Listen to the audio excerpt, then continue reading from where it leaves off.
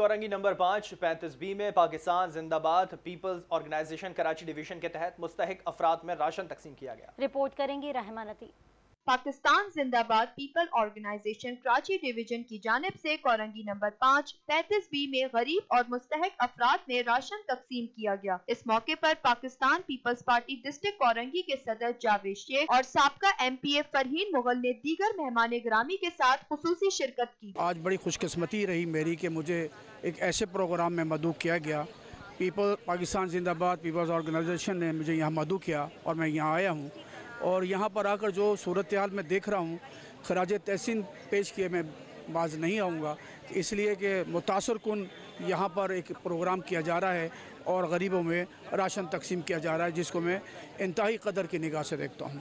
Chairman Pakistan जिंदाबाद organisation हमने आज ये कोरंगी में डिस्ट्रीब्यूशन रखी है मुस्तकिन में राशन की।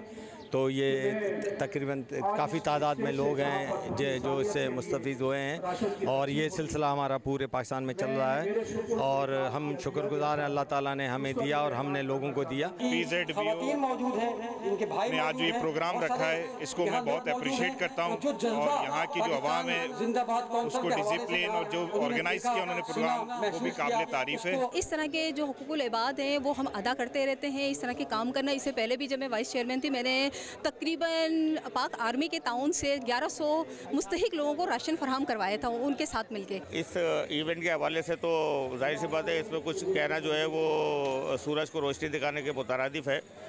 और ख़ासकर हमारे कोरंगी के नौजवान जब से ये कोविड आया है तो इतने ज़्यादा मुतहरिक है कि मैं समझता हूँ कि मैंने और कहीं नहीं देखा। रमज़ान और मुबारक के महीने में गरीब और मुस्तक अफराद में राशन तकसीम करना इसार और भाईचारे का बेहतरीन ज़रिया है। कैमरा मैन रेहान सिद्दीकी के साथ राहिमा नदीम के ट्वेंटी न्यूज़ कराची।